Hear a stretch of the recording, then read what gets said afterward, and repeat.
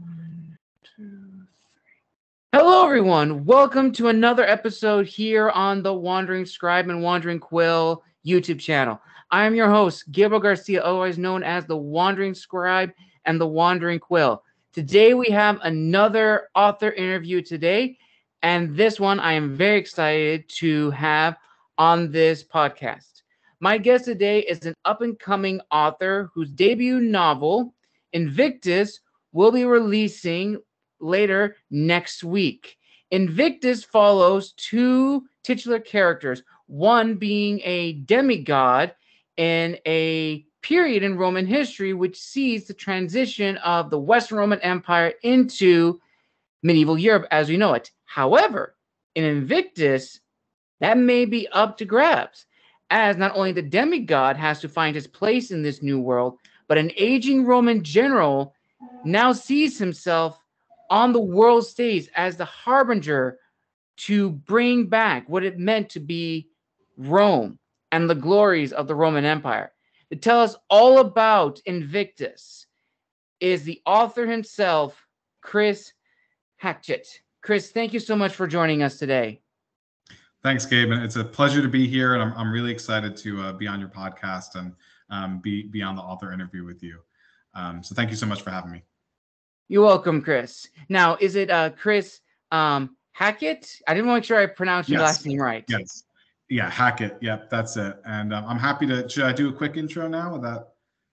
Absolutely. So tell okay. us a little about yourself and sure. how you brought Invictus to the literacy world.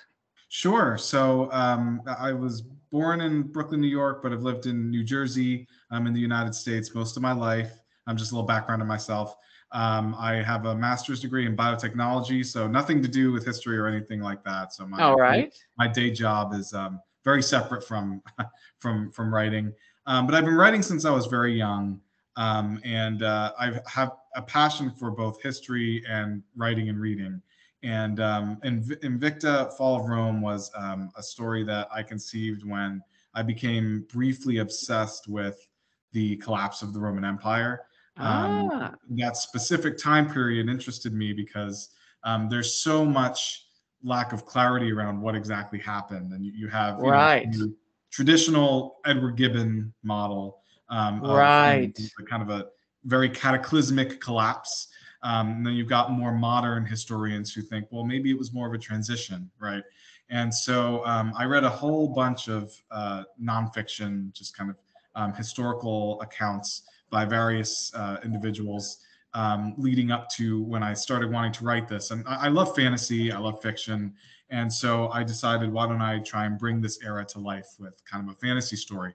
And um, that's that's sort of how how it came to be. And uh, you know, around the same time, I was really obsessed with um, you know Game of Thrones and that whole um, that whole style of fantasy. So I thought, why not bring it, bring the era to life with kind of a, an array of characters. Um, so while you do have the typical hero's journey with the main character Orpheus, who's the demigod that you mentioned, um, you do also have these other characters, such as an aging um, senator and the the general that you mentioned, Aeschylus, who um, through their eyes we get to kind of see the lens, uh, or through through the lens of their eyes we get to see really the kind of this transitionary period of the Roman Empire and antiquity really becoming this kind of medieval European um, era that we all recognize with the castles and the moats and knights and all that. Um, so that's kind of how how I conceived of it, and and I hope that it'll resonate with the readers. Yes, that actually is very interesting. And the Roman Empire, especially the later half of the Roman Empire, I feel does not get a lot of scholarship or recognition. Or if it does, we only look at, you know, the barbarian migration, yeah. the collapse of the third century or the crisis of the third century.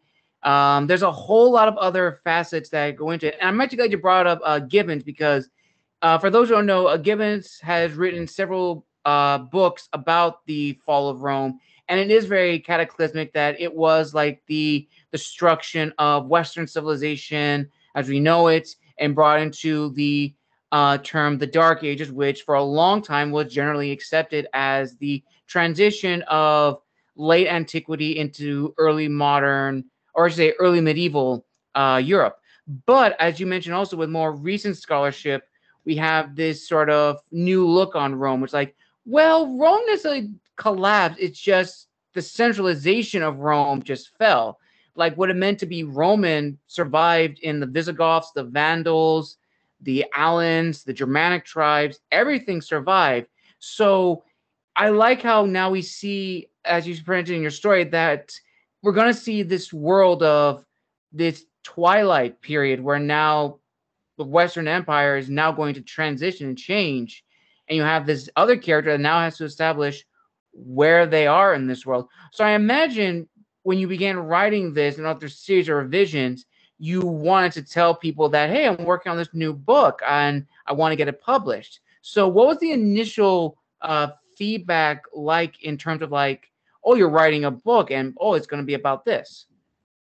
Yeah, so I mean, friends and family were were always very supportive. You know, not all of them have the passion for history that I do. So right, sometimes it goes a little, you know, oh yeah, ancient Rome, yeah, gladiator, you know, that kind of thing. They don't really, um, you know, sometimes uh, when people aren't very into history, they don't kind of appreciate that that specific period I'm talking about. But I do agree with you that that specific era is not covered a lot in fiction or really nonfiction. It's just kind of absent, you know. But certainly in fiction, you don't see much. I think because we're not sure what happened. There's not right. Um, but the my friends and family were certainly supportive. Um, but you know, I this is actually my my this is my first fantasy book, but it's actually uh, my second book. I had um, I, I, self-published another one, which was a, a science fiction um, book. Ooh, so okay. I was able to take my lessons from that and uh, and adapt it to this. But that was my first one, so there was a lot more kind of fanfare with my friends and family around that one. Um, and it's also a lot more accessible because it's kind of a comedy sci-fi. It's a very kind of you know anyone can pick it up and read it.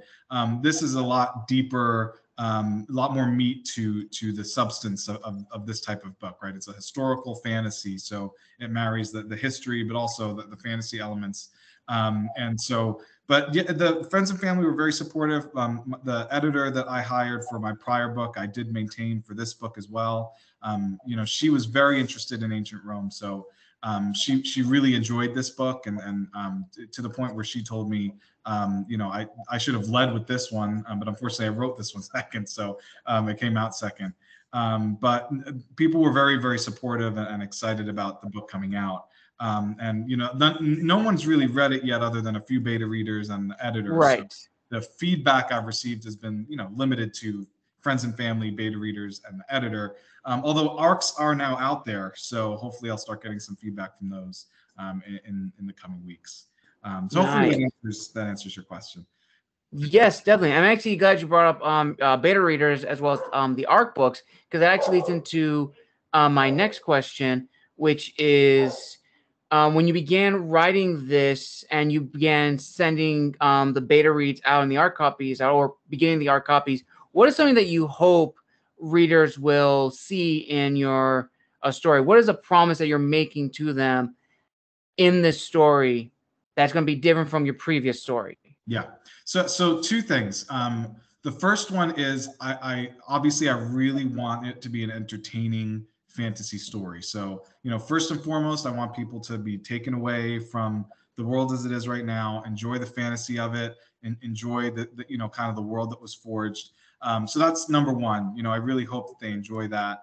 Um, and I'll touch on that in a little bit, you know, kind of the, why I went with a demigod and, and, and all that. Right. Um, at this, also, um, I really want people to hopefully come away from this and think, wow, you know there was a lot of thought put into this with the the historical framing of it right because mm. i spent you know hours and, and possibly months and years of my life reading about um, the fall of rome even before i planned on writing this book and all of those lessons I, I put into this you know kind of the transition to christianity and um, you know the, the transition of the the civic structure that was the roman right. empire into these kind of little principalities and, and how that sort of formed um, and so a lot of that you know through the eyes of a fiction book, which you know obviously it's not it's not going to be as dry as a textbook. I, at least I hope. Um, but you know, it's certainly uh, I hope people will come away with an appreciation for um, you know the history of the era too. You know, even though it's a fantasy story, you know, I hope that they'll. I, I almost want the era itself to be a character in the book. You know, I want people to come away. Right. With, you know,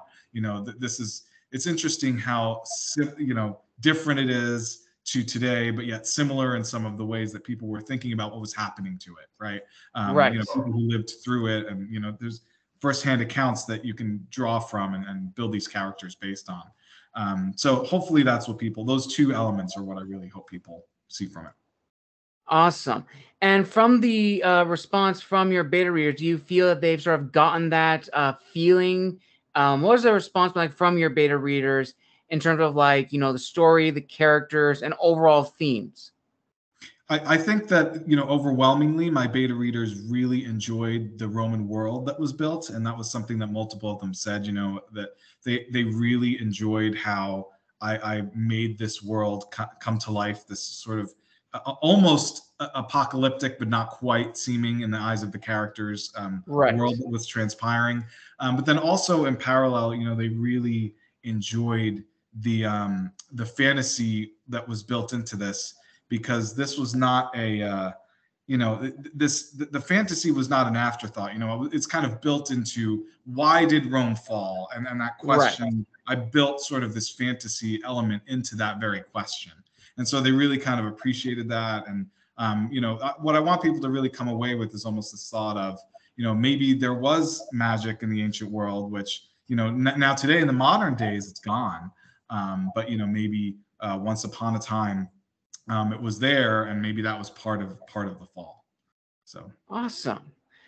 Awesome. And I can tell, as you said, you've done a lot of research into like sort of like the formatting, making sure the history that it feels authentic, that this is, you know, late Western Empire Rome. It's going to be fictitious in some elements, but it's going to feel very organic. And so, with that in mind, did you have a particular uh, reader for this story, or did you write this for yourself in the sense that this is a book that you yourself would want to read or buy? This was a book that I myself would would want to read. Um, absolutely, you know, um, I, I absolutely made this from this perspective of you know, again, I was watching Game of Thrones and you know these these kind of stories where um, magic was part of the world, but not the only interesting part of the world, right? Um, and that's kind of what I what I carried forward into Invicta, where there is this magical element which is super interesting, and, and that's going to be the main you know plot point here. But um, the most the for example in game of thrones there was a lot happening that had nothing to do with magic that was very interesting right Right. and that's kind of what i wanted people to come out of with the, the fall of rome right even though there's this magical piece there's all this drama and intrigue happening that's not related to the magic but also sort of is um, that you'll Right. you know, that kind of comes out in this so it's definitely a book i wanted to read because i like all of those elements um, and you know even even in the more mainstream things like like star wars right um, I was one of those big fans of the politics stuff happening in the background, even though a lot of people hate it. You know, I always Right. loved that stuff, so I I brought sort of those sort of things into it. Um, but then uh, I also, you know, the reader I have in mind is is someone who you know enjoyed something like Game of Thrones or um, you know Lord of the Rings, but also did enjoy the more lighthearted um, pseudo fantasy like Star Wars, right? Where you don't have to have this super meaty you know morsel. It's more just you enjoy it for what it is um, and, and you enjoy the world that's been built um, um, as opposed to uh, you know necessarily having to and and that, that goes into the length of the book as well right? You know game of thrones and some of these books are extremely long uh, or you know, i should say a game of ice and thrones not not the show itself Right. um, but that you know that's an extraordinarily long book i purposely made this you know within a more reasonable trade established length because I, I want people to for first off it's the first in a series so there'll be more Mm, okay. um, but also I, I want I want people to kind of enjoy that mystery of what else is to come. You know what happened before. um, Right. so that whole thing. Nice. And before we go to the next questions, I did want to ask. So the title of the book, Invictus, where did that come about, and does that have any significance in the overall world that you are creating? It does. Uh, you know, Invicta. You know, I mean, there's a, a famous quote, Invicta um, or Roma Invicta, right? Unconquerable Rome. Right. Um, and and that's sort of the contrast of that statement with that time period where it's kind of collapsing is really what I kind of wanted to bring out. And, and that, the title itself is, you know, Invicta, Fall of Rome. So it's kind of a, it's kind of an, an antithesis to itself, right? Like unconquerable but falling um, at the same time.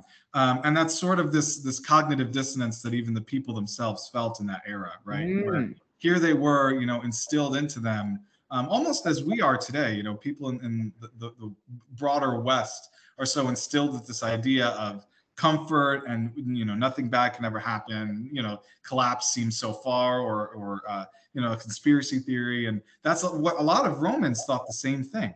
And so that Invicta, that that kind of core belief of you know we're unconquerable um, you know that that's kind of where what I wanted to that that kind of dissonance in the thought, but also it is relevant in, in the story and and the actual cover itself with kind of Invicta written in blood in the way it is um, has relevance to the story itself, which I won't spoil. But um, you know you'll you'll as the readers will see, the cover will make sense.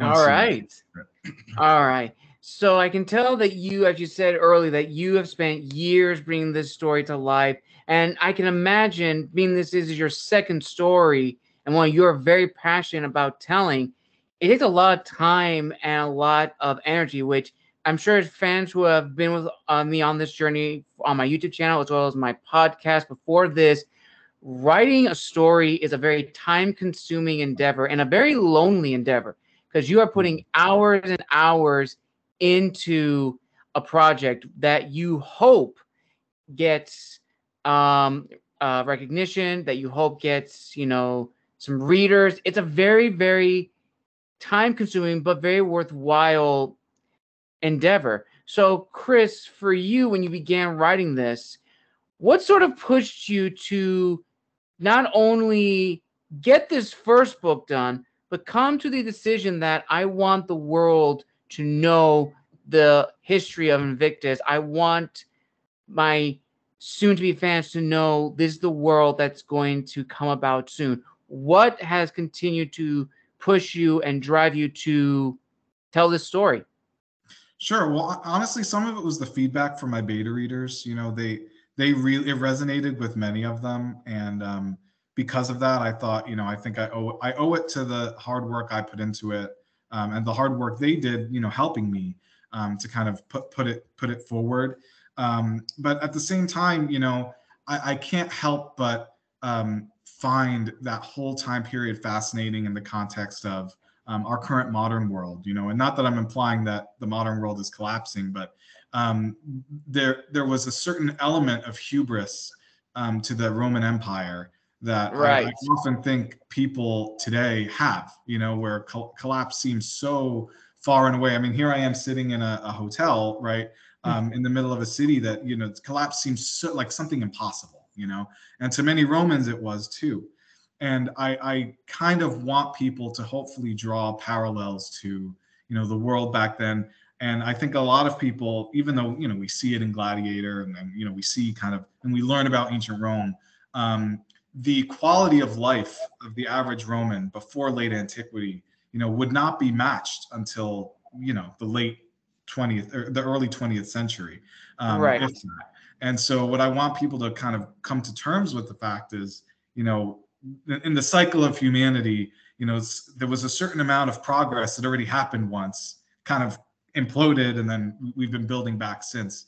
And so that's sort of that element to it too kind of keeps me going. Like I really want people to see this and you know see you know i know it's fiction i realize that but there's so much built into it from what i read in nonfiction and, and firsthand accounts of of what you know romans thought back then that um you know i really want people to kind of hear hear that story if you will because again like we said the fall of rome is such, really such an underexplored time period you know people know it fell people are interested in it but the actual fall itself is so underexplored um, you know, and, and, hopefully, you know, there'll be more books to come in, in, this era. I think that would be fascinating. Awesome.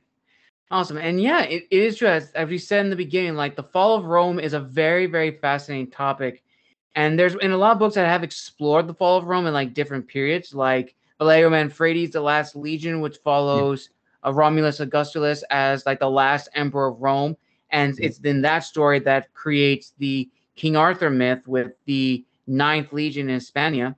You also have uh, the Scourge of God, which follows uh, Roman soldier, or not even Roman soldier, but uh, Roman ambassador who sort of gets embroiled with Attila the Hun coming to defeat uh, the Western Empire. There are Yeah. so many different stories to explore, whether you want to look at like the politics, the warriors, the warfare, or just like the German perspective or any other perspective. It is very fascinating, which actually needs to suspect that there's been a lot of different, I imagine a lot of different historians that you've had to reference um, in your work to sort of like get like this grand picture. So, who would say were like your big uh, influences in terms of gathering uh, sources as well as the retelling of this particular period?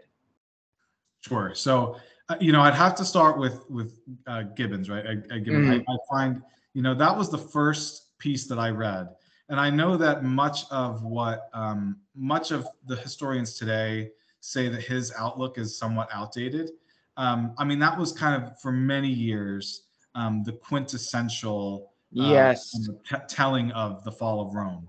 Um, and again, his his telling is is somewhat apocalyptic um, Mhm. which you know today and and you know there's some more modern ones that I read that I'll list in a moment, but um, you know a lot of the uh, a lot of the more modern historians say you know that apocalyptic take was very um, you know 19th century uh, driven and, and the historiography of it has sort of changed a lot. Right. So, um, and I'm cognizant of that.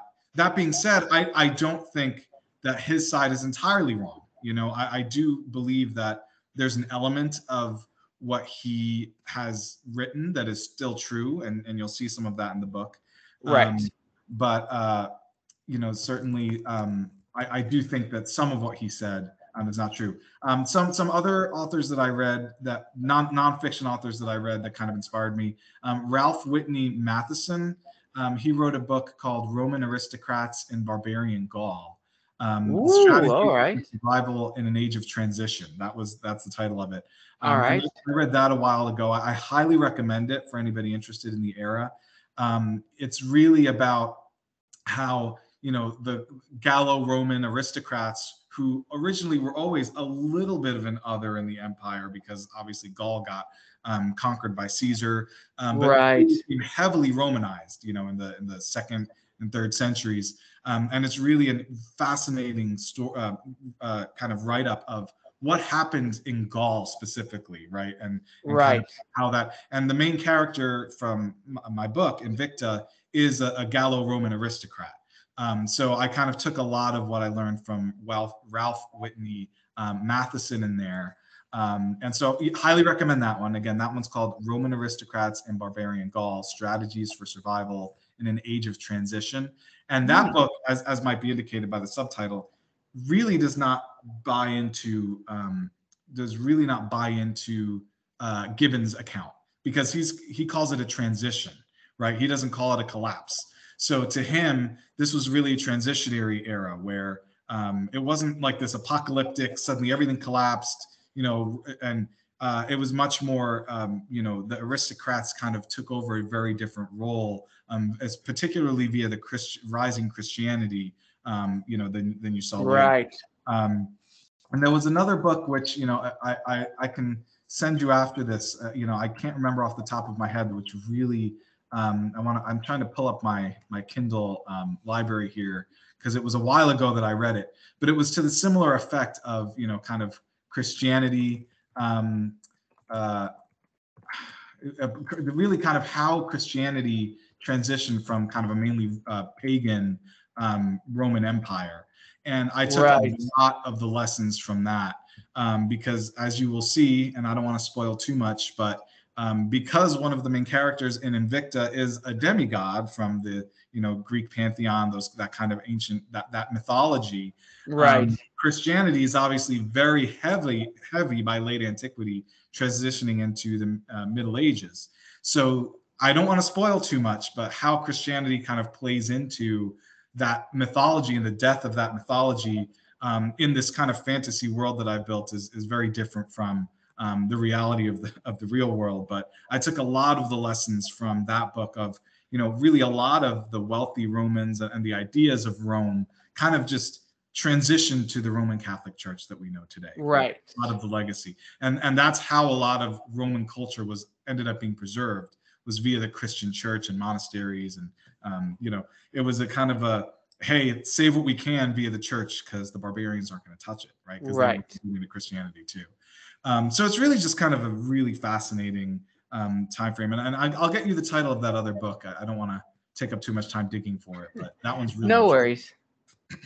Fascinating. And then kind of like a follow-up question. So those are the sort of like the scholars and the historians who have sort of like molded your historical framework um, in terms of like gathering the sources and like the world you're trying to create in Invictus, very accurate to our own history.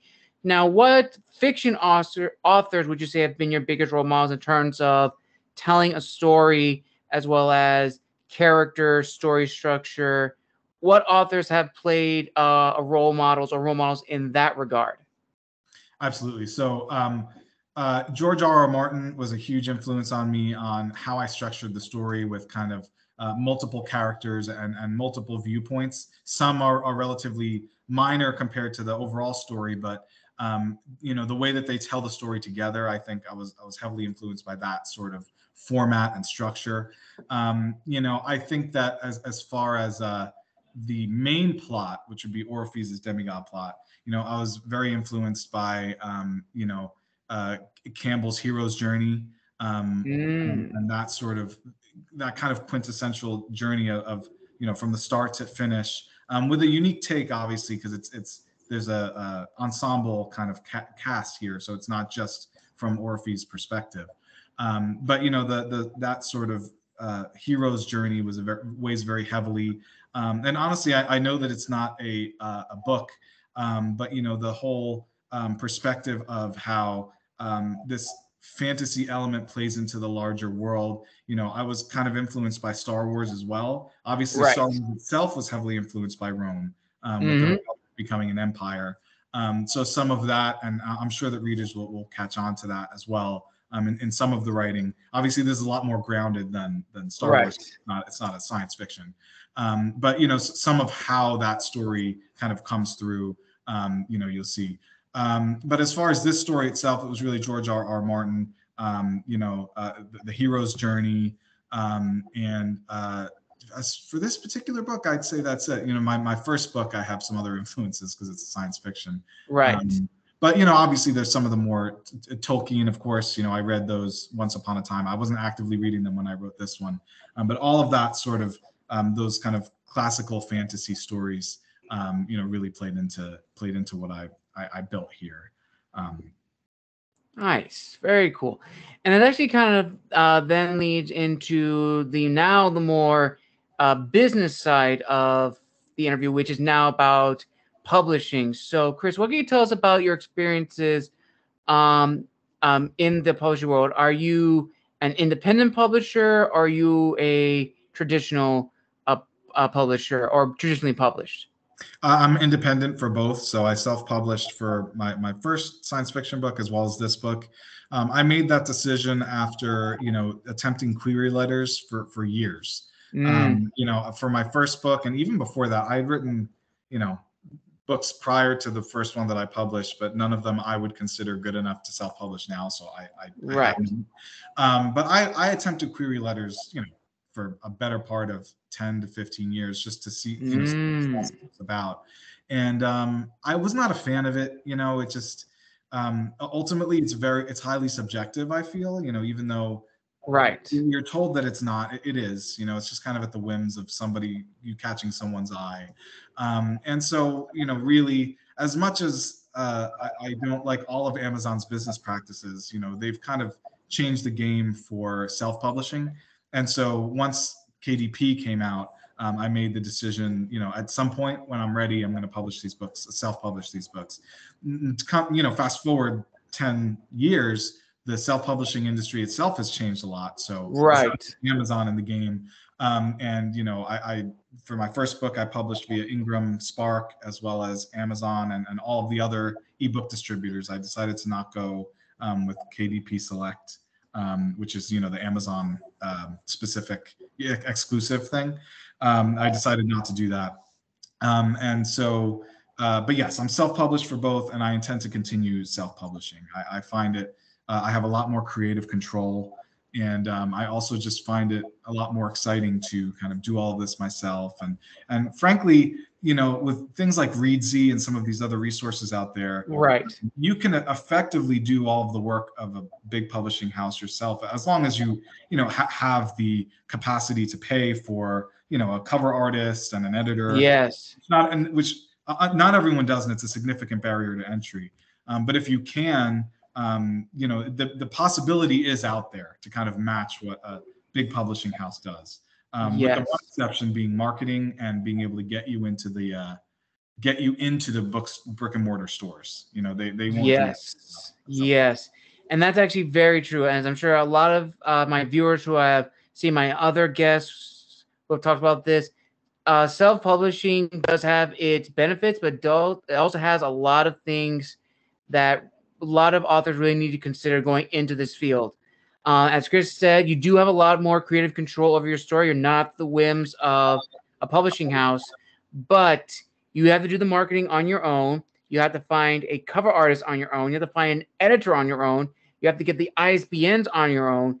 And it is a very, very costly endeavor because yes. it's coming out of your pocket. It's very, very difficult. But as Chris said, there are a lot of tools that help us, like. Reedsy is like a perfect platform to get your book started, as well as like format, like how many chapters you want, author bios, uh, more about the author, as well as a whole bunch of other uh, indie platforms, like of course Amazon KDP, Barnes and Noble, Google Reads, or Goodreads. There's a lot of other platforms. So independent publishing is a good thing, but you do have to do research into this to know if this is what you want to do. So, on this question, Chris, going back to your first book, um, your uh, science fiction book, did you do a lot of research into the indie, indie publishing route um, beforehand, or did you kind of learn um, when you already were in that process, in that mindset, and it was kind of just a snowball effect? So I, I was already decided on self-publishing, but um, I, once I really i did do a little bit more research because it had changed so much and i just got even more excited to do it you know? Um, 15 years ago when kdp first started or whenever i don't even remember how long how long 2011 or something um, when it first started um, and i first looked into it and i kind of dipped my toes into how does kdp work and should i submit something? Um, you know the, the the thought of hiring my own editor um, finding a cover artist seemed so daunting that it almost seemed like silly, right? Because it was there wasn't back then a really consolidated location like Reedsy or Fiverr or some of these locations, um, and the industry hadn't fully acclimated yet, you know, to, right. to this new thing.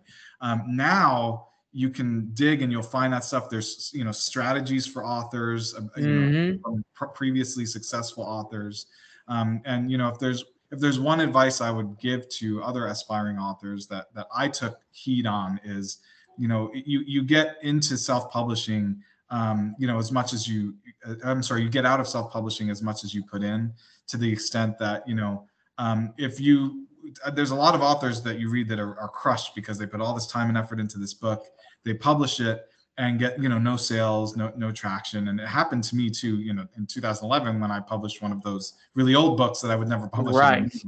um, that happened to me as well and the, the key to it is is the marketing you know um, and that's that's where you kind of can change your game um, and and you can bring people's eyes to it and honestly of all of the things that you're going to do with your book including cover editing if you choose to do those things marketing it can be one of the least expensive you know um, it doesn't take very much to do ads on instagram or right. facebook um, you know it, it, it pales in comparison to the cost of an editor or, yes. or things. Um, so and and you know, let's be real. There's been some pop books that were not very well written that got very big based on marketing. Um, That's true. So, so you know, it's it is possible to get eyes on on your books.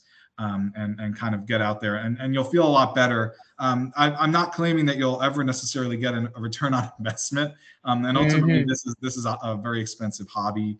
Um, you know, really, um, but uh, it's it's still um, you know there there are venues now, and um, if you are an author and, and you're watching this, um, you know don't don't give up and you know focus on on on strategies. You know keep, keep writing of course and and having a big back catalog is, is key to su- being successful but you know marketing is a, is a big part of it. And, and think think even in advance of putting it out there you know who who's my target audience? How am i going to reach them um, even if there's free ways just using the right hashtags Right. you know how can i get out there and, and you know or joining the right forums on reddit and other places Mm.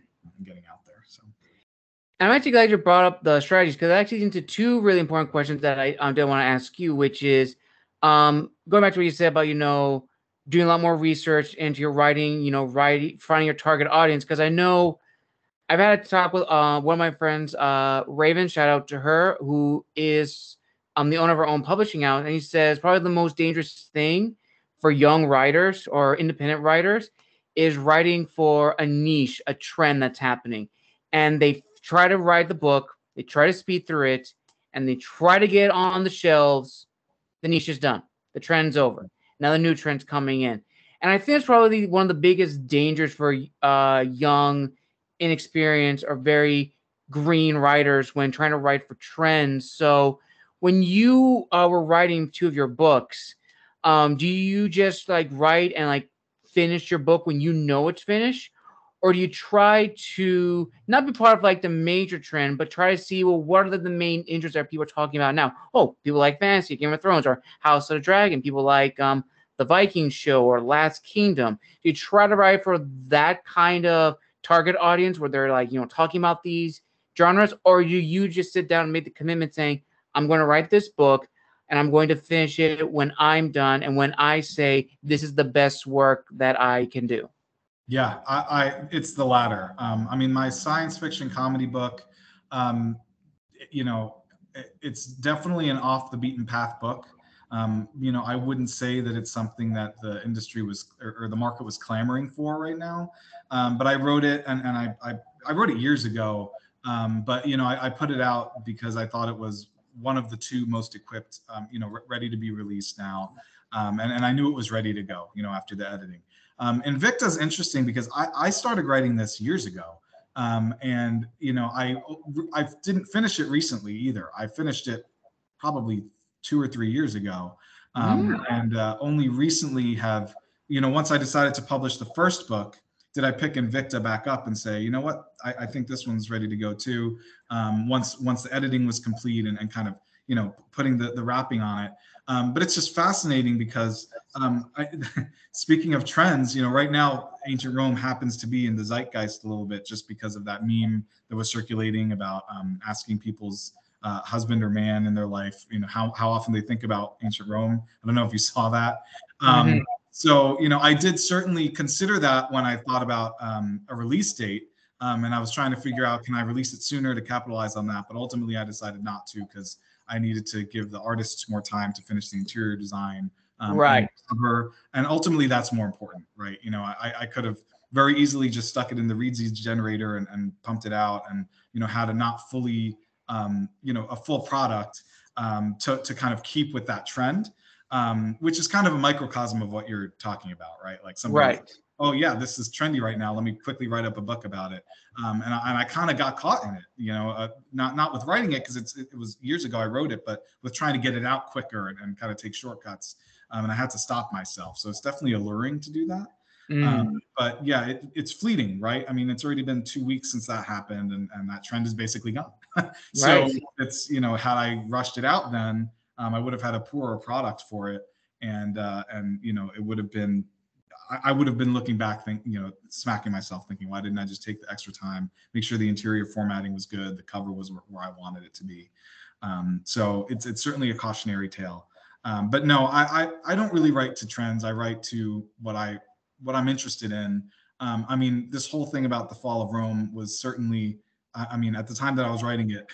It was difficult to get people to kind of listen to me because everybody was like Rome, yeah, you know. It wasn't it was years after Gladiator came out. Nobody was really thinking that much. And Right. the HBO show, you know, um, people weren't that interested in it. But I'm just a little bit of a history nerd, so I, I'm always Nice. by that stuff.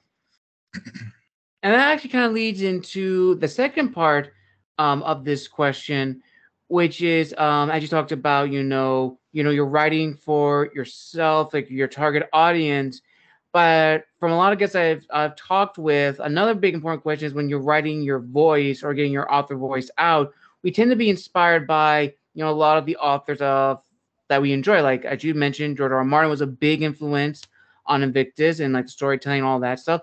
And sometimes we take away like some of the elements like storytelling structure, how he described characters. And the reason why I bring that up is um, one of my good friends, um, Kim Appelgren, a South African author, she's a big fan of Tolkien, and her work, The Silent Witness, is very much heavily inspired by um, Tolkien. She was able to make her own language, her own um, world, her own culture, her own religion, everything. And everyone say, you know, she's the next uh, C.S. Lewis and J.R.R. Tolkien. And you know, we like to hear those things, but then you know, when I when I jumped in to be part of this uh, writing community and published um, my book, um, The Gathering, which everyone says, you know, you are very descriptive like Tolkien, like C.S. Lewis, and you have this writing style like Valerio Manfredi or uh, Alan Smale, we tend to think, well, I'm not trying to be like these guys. Yes, these guys are a big influence on me, but I'm not trying to be like the next so and so. So, in your beta readers going back earlier, has anyone ever uh, commented on that, saying that your style of writing is reminiscent to one of like the great titans of literacy? And if so, um, do you take it as like a compliment, or do you take it as saying, "Well, well, thank you, but I'm I'm not trying to be like so and so." Yeah, so you know, in, in each book, it's been a little bit of a mixed bag. So my first book, I was told it sounded very, uh, it, it felt very Douglas Adams. So Hitchhiker's okay. Guide to the Galaxy, um, you know, and at the time I, I, didn't really like it because as much as I, I liked his Hitchhiker's Guide because it's a science fiction comedy like my book, um, my book was much more narrative focus than Hitchhiker's right. Guide to the Galaxy. So to me, it almost felt, you know, am I have I written something that's too um, wild and bizarre? You know, it's meant to be a comedy, but it's meant to be more in the tune of like Galaxy Quest, right? Like where there's a clear right. plot, clear structure. Um, it's not meant to be kind of zany. Um, so I see exactly what you're saying. And with this, with Invicta, with the beta readers who read that, um, you know, I, I, definitely got a few people that said there were certain scenes and certain elements that definitely reminded them of um, uh, George R. R. Martin, um, and they, you know, they would call out specific things like, "Wow, this felt very, you know, this moment felt very Game of Thrones."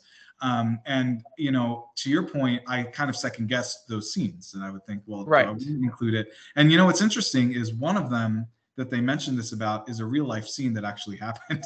Because um, there is some you know there are some real characters in the book too. It's not all, all fantasy characters. Right. There's a particular scene which you'll know when you read it. Um, this actually happened and they actually have the quotes from um, the two figures the historical figures of, of what they say in the moment and i, I integrated that into the story um, and somebody said this feels very uh, Game of Thrones, and it kind of to me was like, well, you know, it's funny. Sometimes truth is stranger than fiction, right? I mean, this right. this really happened as it played out here. Um, obviously, I took some liberties because nobody was in the room.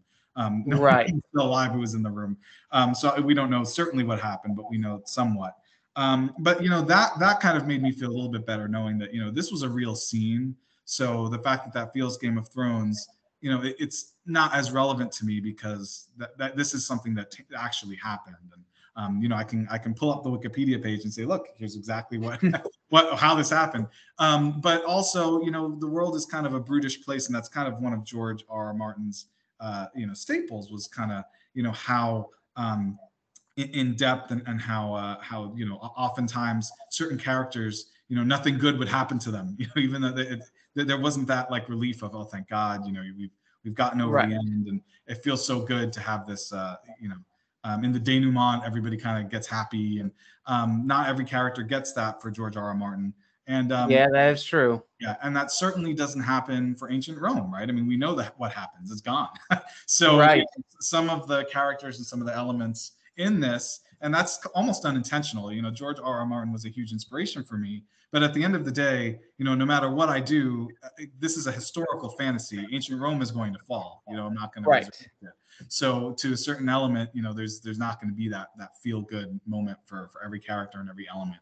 Um, so I, I definitely got some of that, but I, I think that um, I I see your point. I definitely second guessed myself a few times when I got that feedback. Um, but ultimately, you know, I, I think that I, I think it's a little humbling too. You know, if somebody reads something and says, "Wow, this sounds just like something I read in somewhere else," I mean, that's obviously a published book that they read, so it was good enough to, to get out there. As long as they're not saying it sounds too much like it, um, right? Where it's you know copying, that then that would stress me out. But I hadn't gotten that feedback yet. I, I know the feeling. When I actually began writing my first book, uh, The Gathering, I would pro- it was probably back in like 2020. I began writing this actually earlier, back in 2018, and as almost like you, um, I started writing this. I put away for a little bit, and back in 2020, I was in master's school. I decided I might as well just write because, of course, uh, the lockdown happened, and then everything went on digital, went remote, and I need something to keep busy. So I started writing with that. And when I started posting it online, people were saying, "Oh wow, this is this is really good." Because almost like you, my thing is like a mixture of history and fantasy. Seven characters from history, taken from pivotal battles in Earth across time, are sent to this alien world that now have to fight a way to get back. And everyone said, This is amazing. Your description of battles are very, very um, vivid. My little secret, always I tell them is I watch YouTube videos of movie battles and I just listen to the sounds and imagine what the battles are like. It's one of the little things I do. But and everyone's saying, you know, C.S. Lewis or Tolkien. I was like, well, thank you. I appreciate the comments, but you know, I, I'm I can't imagine myself ever being like them because I'm I'm still trying to find my craft. I'm still trying to find my voice, and it is a humbling feeling to like to have like all these fans who really enjoy our stories. So that kind of leads into the next few questions before we get into like the final part of the interview, um, which is uh, Chris, um, for you, who have been your uh, biggest supporters? Oh man, um, I mean, definitely my wife has been a huge supporter of mine. Um, you know, and once she saw, for example, the first book when, when we, we got it published on Ingram Spark and the, and the paperback came, you know, and it felt real. Um, you know, she really kind of uh, was very supportive at that point. Um, but also, you know, some, some of my best friends who have read my books from the beginning. I mean, even when they were much, much earlier, like pre-beta readers, right? Like alpha readers. Oh, okay. Um, some of those people um, have been with me the whole time, kind of even helping me think of further ideas. Um, so really, it's been you know friends and family have been kind of the, the core. Um, obviously, I, I, haven't published anything before these two books, and, and the first book I published only in January. So um, I don't have a big established base of, of readers to kind of keep me keep me going. Um, so I'm very thankful that you know my family and my friends have been there to, to really keep pushing me um, because without them, you know, it would be you know I'm putting stuff out into the void and and you know, right. there's not a lot of feedback. Um, but certainly, you know, in, in both of my online communities on um, Instagram and Facebook, I have a page for both book series. Um, and, and in both of them, I, I now have, um, you know, a very passionate um, core group of fans who are you know very excited, um, and and that keeps me going too. And and you know if there's any other authors watching this, once that happens, you you feel so good. You know once once you start to you know see people um, you know take interest in it who you don't know at all, and um, you know start to get excited about plot points and things like that. Um, it really makes it all worth it. all the nice. I completely know the feeling. It's always good to have like that core group people that are really supportive of our work and love the stories that we have and are just there for us when we're just like have like our our off days and like give us uh support. And sort of like the last question before we get into the final segment, which is have you ever had like a moment of like validation from like beta readers or even like fellow authors online, like on Instagram and Facebook, who read a blurb of your story and said, This is good. You definitely belong in this community or do you not seek uh, validation uh, for your uh, in the sense that you don't write simply for validation? You like when you know you get validation for your work, but you don't go out actively to seek it. Excuse me. I, I definitely don't go out seeking it, but I do. I mean, like anyone else, I do enjoy it. Um, I mean, it, it, it does help me feel like it's all worth it, you know um, not more so than just my own, you know, hobby enjoyment of writing. Um, right. The fact that someone else could enjoy, even if they haven't read it yet, just the blurb, um, yourself included, right? You know, before you invited me on here, um, mm-hmm. you know, I that that element of wow, this blurb sounds really cool. Um, you know, you, you've you've made something that I am interested in reading more about. Definitely. Um, you know, that that in and of itself is is a powerful motivator. you know. And while I don't write just for that, um, it really helps keep me going. And um, I'm sure you as an author know too, you know, when you get those reviews in, um, it's like a tip, right? It's like a tip for an Mhm. author. It's keep keep going. Um, so you know uh, that's uh, while I don't write for that alone, um, it certainly uh, decreases the barrier to entry to writing more. I'll put it that way. Awesome. Um, Awesome. And so now we're now nearing the, or should I say, we're now in the final segment of the interview. And sort of like the last major and probably most important question is we've Yeah. already been given um, the answer already to this, but what other words of wisdom would you give to young um, authors out there who want to transition from writing as a hobby to now writing as a business? Yeah, um, I, I only recently learned this lesson, so take it with a huge grain of salt. But um, you know, when you're transitioning from writing as a hobby to writing as a business, you know, the, the core thing to remember is you're if you're treating it like a business, your book is a product, right? Um, and that's that. You just have to kind of wrap your head around that. Your book is very it's a very personal thing, and I know that. Um, you know, these these words that I've written are very personal, and you know Mhm. even you know on my car ride here i was you know still thinking about it sometimes because you you this this world that you've created and you're thinking about the characters um, but once you put it out there and and you you have the goal of uh, publishing it becomes a product and when you think of it in those terms packaging is important to a product Right. how you price it is important to a product how, you know everything about that the marketing around that is important to that product um, so it becomes no different than selling um, a car or selling Mhm. You know anything else. It's you know you, you want to put something out there that people are going to look at and think i want to you know spend money on that or even if it's free even if it's a free book i want to spend time reading that Right. because ultimately time is money right? People spending the time reading your book that's time they could be doing something else. So Right. um, even if you're not putting it for sale because a lot of authors don't um, you still want to commit people to or you still want to get people to say wow that's something i want to spend time doing is reading that um, and so just think of it like that. Your book is a product. Um, and and you'll that that'll help kind of kind of take the switches in your brain and and everything will start to fall in place. Like okay well is my product ready for launch? You know you're thinking of it like almost like an iphone or something like that. Is this ready for launch? You know are people going to find Right. bugs right? Typos they're like bugs in the software. So just th- think of it like that and, and um, it'll start to all come together the puzzle pieces. No true words ever welcome. Very, very true, Chris. Very, very true. And with that, listeners, we will conclude this wonderful interview with Chris. Before we officially end it, I want to say thank you to Chris for joining us today. Th- Chris, thank you so much for joining us. Uh, where can people find and follow you to engage with you as well as learn new updates about Invictus? So I would definitely follow my Instagram at Invicta Series. Um, that's where I'm posting all of the major updates for the Invicta book. Um, I do also have a an author Instagram. I'm sorry, an author uh, X now. It's not Twitter anymore. X uh, called at um, C, uh, C Hackett Writes. Um, you can also find me on there. Um, I don't only post about writing on there. I occasionally post about my day job too, so you might find that boring. Um, and you know, Invicta is releasing October 27th on uh, ebook and paperback. So, um, but you can check the, the Instagram for updates.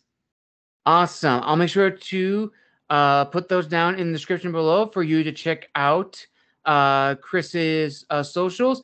I urge you all to go and check out Invictus. I saw the cover when it was the transition to the final product. The final cover looks amazing. It's awesome. I can't wait for it to come out. And as many as you know, I love history.